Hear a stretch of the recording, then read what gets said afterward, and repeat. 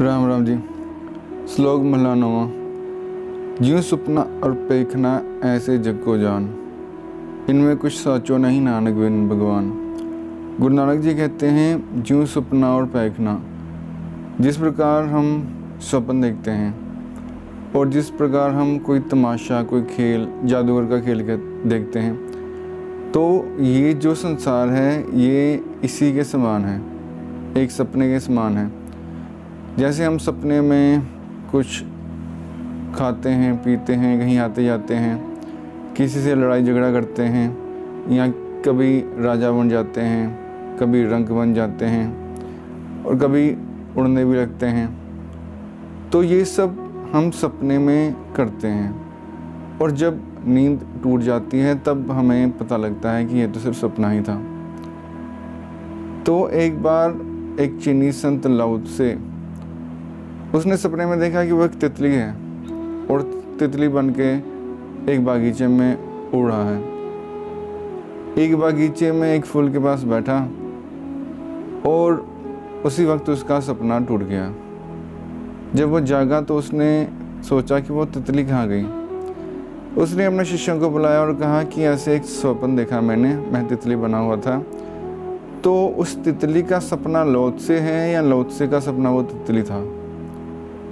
तो एक बहुत गहरी बात उन्होंने की कि जैसे लोत से का सपना तितली था और तितली का सपना देखकर उन्होंने पूरा जीवन जी लिया। और जब आँख खुली तो तब तितली ख़त्म हो गई, मर गई। उसी प्रकार लोत से जो है, वो भी किसी का स्वप्न हो सकता है।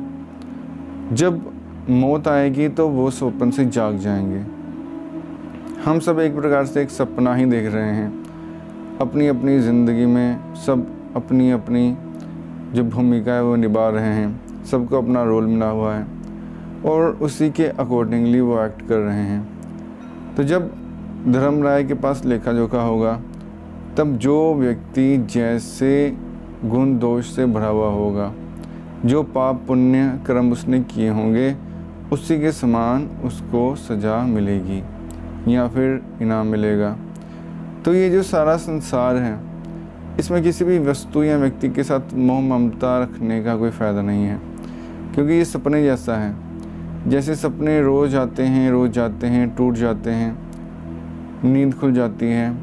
हम ये जान लेते हैं कि वो एक सपना था, मैं और हूँ और सपना और था।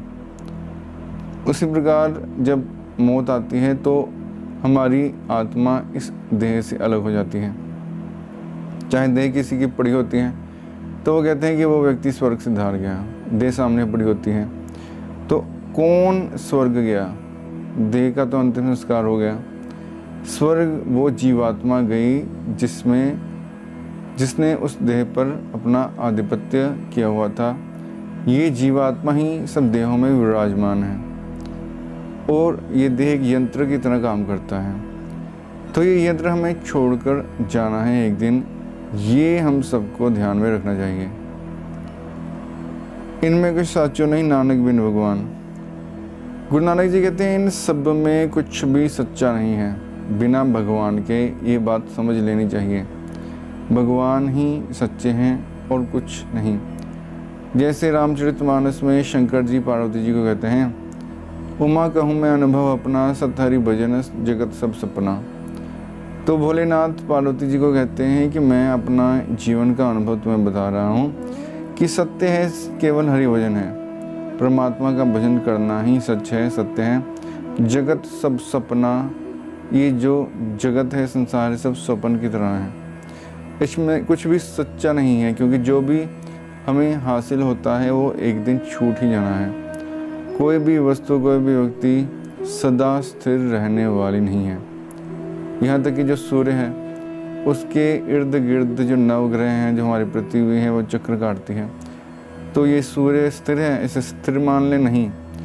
वैज्ञानिक कहते हैं सूर्य भी कभी जन्म लेकर यहाँ उपस्थित हुआ है। सूर्य का जन्म हुआ है तो मृत्यु भी होगी। तो कुछ अरब वर्ष इसकी आयु शेष है। तो कुछ अरब वर्ष है तो काफ़ी आयु है। लेकिन ये भी एक दिन समाप्त हो जाएगी। और वैज्ञानिक कहते हैं आधी से ज़्यादा आयु ये सूर्य भोग चुका है। तो ये सूर्य भी जब स्थिर नहीं है, ये भी नष्ट हो जाएगा तो हम और आप चीज़ ही क्या है? ये जो समुद्र हैं, हमें लगता है ये कभी सूख नहीं सकते। लेकिन वैज्ञानिकों का ये दावा है कि जहाँ रेगिस्तान है आज, वहाँ वेल, मछली के चिन्ह मिले हैं, जीवाश्म मिले हैं। कई ऐसी मछलियों के जीवाश्म मिले हैं जो सिर्फ़ समुद्र में ही पाई जाती हैं। तो वो मछलियाँ इस रेगिस्तान में कैसी आई तो जो वैज्ञानिक हैं वो कहते हैं, जो रेगिस्तान हैं, आज वो कभी समुद्र थे। और जो समुद्र हैं वो रेगिस्तान थे। जो ऊँचे ऊँचे पर्वत हैं वो कभी मैदान थे। जो मैदान हैं वो कभी बहुत ऊँचे पर्वत थे। इस संसार में कुछ भी स्थिर नहीं है। तो हमारी धन, दौलत, यौवन, ये सब स्थिर कैसे रह सकते हैं? इसलिए जो स्थिर परमात्मा का भजन है, उसी को करना चाहिए। परमात्मा के नाम सिमरन में ज़्यादा से ज़्यादा समय बिताना चाहिए। धन्यवाद।